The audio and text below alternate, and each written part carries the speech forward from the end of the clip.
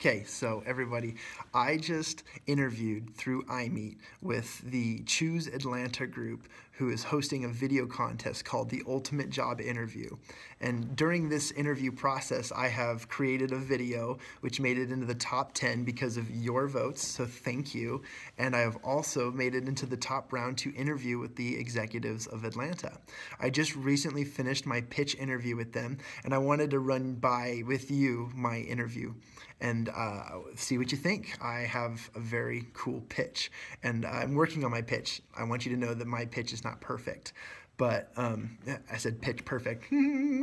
but I wanted to tell you guys what my pitch is. So here we go. Ready? So my name's Jon Kovach, and I am adventurous, I am ambitious, and I am authentic. I'm adventurous in the way that I like to take on projects and and assignments that no one else wants to take on, the more difficult ones per se.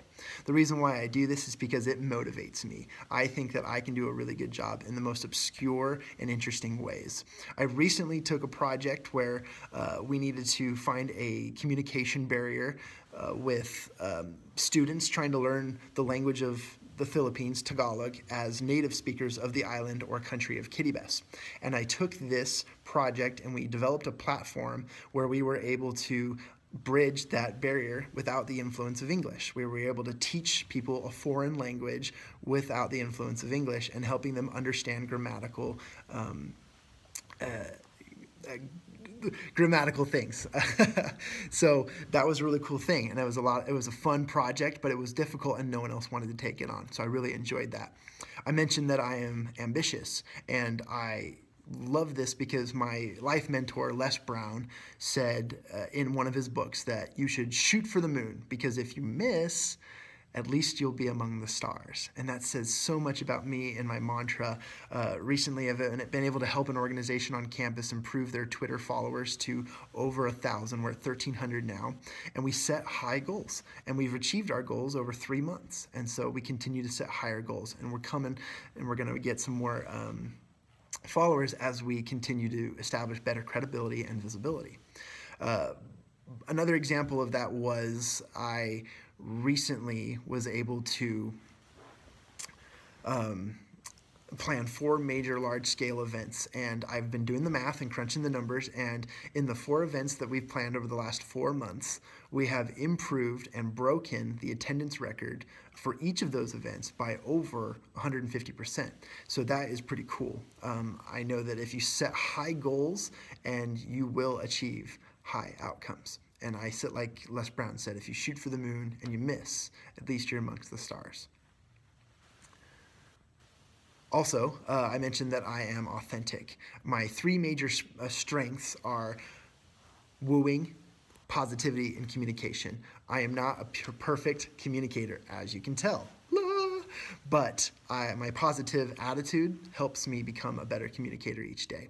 Now I mentioned wooing. Wooing, people think, oh, you're a wooer. You uh, you suck up. You you people pleaser. But let me tell you why you need a wooer on your team. Wooers are the kind of people that maintain and develop strong relationships. A wooer can listen to every party and be the mediator, can help um, uh, make decisions, get sales, and even solve problems. And that's why you need a wooer. So I'm a wooer, guys. Deal with it.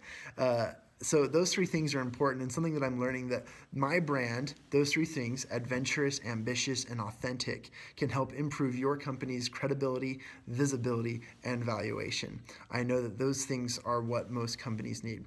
Now recently I went to a public relations uh, conference in Atlanta where I met with corporate communications directors for Coca Cola, Chick fil A, College Football Hall of Fame, Edelman PR, and so forth. And the one thing I learned is that in order to make your mark, you need to be a better communicator and develop relationships and tell your story.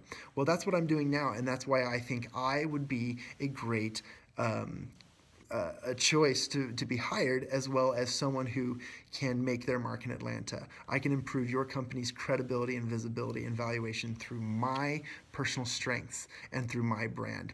So in review, I know that I would be a good prospect and that you should hire me and that I will make my mark in Atlanta because Atlanta embraces change and so do I.